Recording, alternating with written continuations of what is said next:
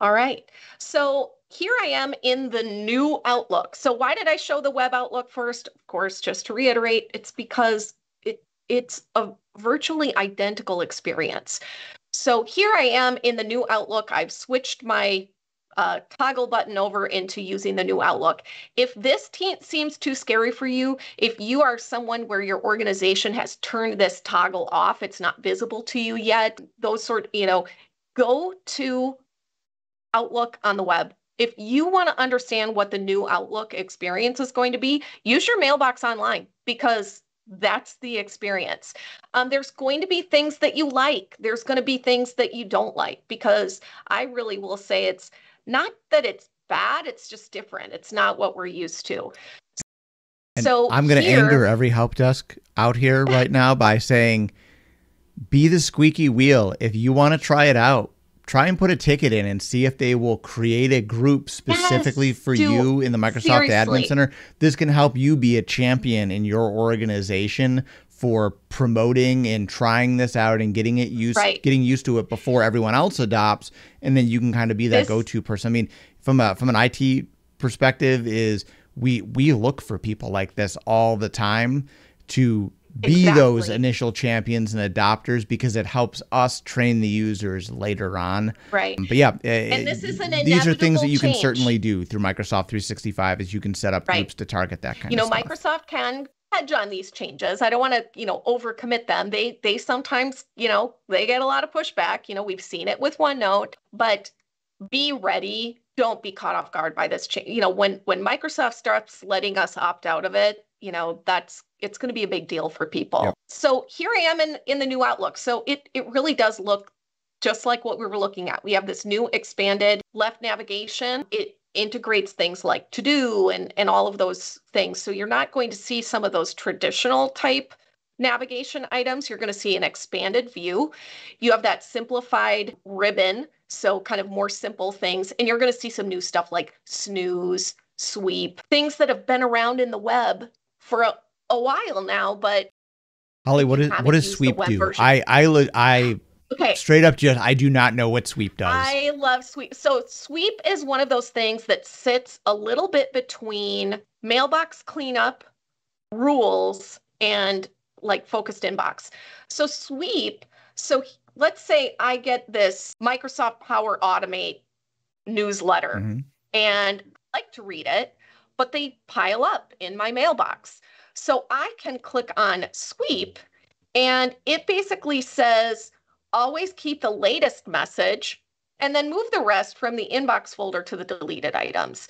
So it's like a it's a it's a more complex rule, but it allows us to have some flexibility over like what we're doing with messages. So it always gets rid of the old ones and lets us keep the newest one. It it allows us to say take everything in the inbox and- all future messages and move it here.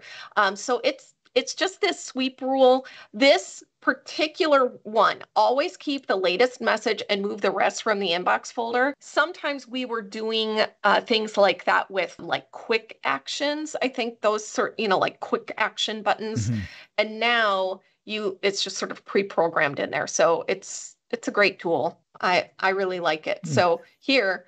Um, this one always move messages older than 10 days. So again, I depending that. on those uh, like ServiceNow alerts hey don't just put them in your junk don't just delete them all keep them look at them but we know in the ServiceNow world they pile up so just like let there be kind of a natural falling off of those Do you have the ability to configure uh, some of those settings for sweep, or is it just hey, this is out of the box? I think it's it going to be more of an out of the box thing. If you wanted to get into some more complexities, you probably could build a, build a rule. a more complex rule. But I know, I know I've seen some people, we're just going to go into settings because I want to talk about some of the the new settings that you have available to them. Um, but but these are some different things that you can um, kind of conf- like. Do you see it? It's not letting me configure it. It's just on or off. And sweep is a distinct area outside of rules, so it's not it's not like a part of it potentially. So One of the other things, and some of, of our, our viewers and listeners have noticed that if you have Microsoft 365, we're storing settings in the cloud now. So you may have gotten notifications, things like that, that your signature is now stored in the cloud. And this is another little thing that Microsoft is working to get us off premises, uh, out of our local drive and into the cloud so that no matter where we're using Outlook, we have our signature. Um, so it's little things like that that we're going to see. And one of the other kind of expanded features here, and this is something that I I love. I was just showing this off the other day in Calendar and work hours and locations. You can now set up a, a more flexible work location, locale. So if I work Mondays, I work half days in the office and half days remote at home, or I work a hybrid schedule. I'm in the office three days and at home two. I can set that up. And um, traditionally in Outlook, you set your weekly schedule. It assumed that all of us work the same hours every day. Mm. Whereas we know we've worked, you know, especially in like our service desk organization, we have people that work, maybe work different shifts. They'll work split shifts, they'll do different things. And you can now configure that here in Outlook. And this talks to teams as well. So, you know, you're kind of setting up your contact card. But I just, my hope is that we're kind of showing you like the new Outlook is really the old web outlook. Yep. It's it's it's out there. It's available for you to try. So if you don't see this toggle switch, try using your outlook your your outlook online. So try using your mailbox online because if you can get used to using these features and functions, these expanded settings, some of the expanded feature sets, the look and the feel, you're going to be that much more prepared. And I will echo what you said, Scott, put in a ticket, ask to be given the preview because it, it there are times where we see organizations get caught off guard, uh, get a little too close to the cliff, and have to scramble and figure out how do we get you know hundreds of people ready to use this new version of outlook.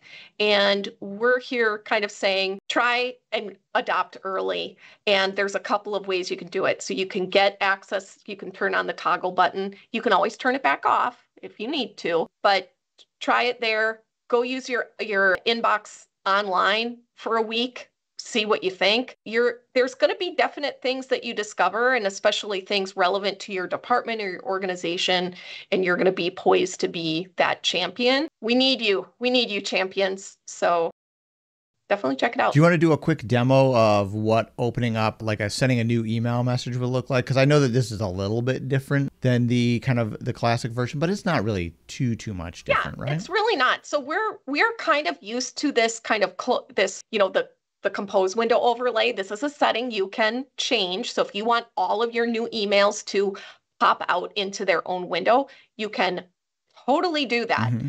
But one of the things I'll just, I'm going to pop this out. Oh, actually, I shouldn't do that because I'm only sharing this one window. But I will, I'll just leave it here. So we'll do a new email and you're going to see the, once you get into this, the the message body. So don't be alarmed if you're here or you're here and you see all these buttons grayed out. Don't worry. Once you're in the body of the message, you're going to see kind of your same, you know, your message tab, your insert tab. You can format your text. You've got some different options, but you're just going to see a few more expanded options. Again, I always like to say this is kind of a the buttons look different situation. Um, they really haven't taken a lot away. They've definitely given you some new stuff, but it's it's gonna. I think that one of the biggest look... changes, especially since this is web, is the ability to use slash commands now directly within. Oh, and yes. I think that that's something that an everyday user wouldn't necessarily think about using, but just being able to type slash and then it gives you kind of contextual menus to insert files, or this is a way that you'll use Copilot as well, and just get those in. And one of the things too that the new Outlook does is by default is it is going to try and grab from SharePoint or OneDrive. It is not going to by yep. default try to attach physical documents, which if you're right. in the habit of doing, which I think many people are, you should actually try and get away from that as you start to move to more of a cloud-based world. Yeah. Just due to the amount of space that it takes up, especially on calendars when you're doing cached information in Outlook. So if yeah. you're caching 90 days or a year's worth of data in every single meeting invite that you get, has a uh, two, three, four megabyte attachment on it, that builds up over time and yeah. it builds up your your overall kind of like cached app data right. on the computer. And you know, right. uh, not a lot of us are always in problems of running out of space, but especially if you're talking about just smaller dedicated VMs or even kind of a dynamic like pooled VMs, is it takes longer to load your profile because you're bringing more of that app data down with it. Yeah, and I I would say we you know in the work world, and again, this leads into our licensing conversation, we're so document, like everything is a document, yep. everything is a file. And Microsoft 365 is looking to expand your horizons and help you not make everything a Word document or an Excel a spreadsheet. There's lots and lots and lots of additional tools that you can use that don't really have a file at all. Um, things like forms, things like these scheduling polls, OneNote, you know, in a team, you know, your team notebook.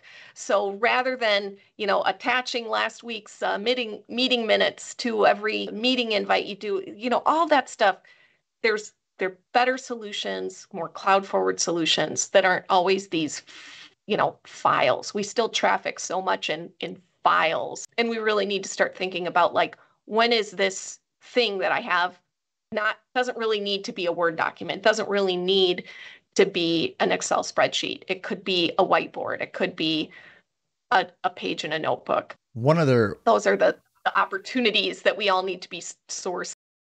One other note too, and I get this question quite a bit when I see new people adopt Outlook is there are theming options to it very similar to the classic version. So Holly, if you wanted to go up to settings real quick and go to kind of the theming area, is I think that it's important to bring up one aspect of how the themes work. Oh, and I wonder if I'm not going to be able to see it. Yep. I can slide some screenshots in, but one of the important things from the theming option here is Holly, if it, I, we may see it in real time, but if you choose one of those bottom options on themes where it has like the flower print or like the the moving arm cat toy, you'll see that kind of change at the top where it's blue right now, kind of in that in the almost like that area above the ribbon bar.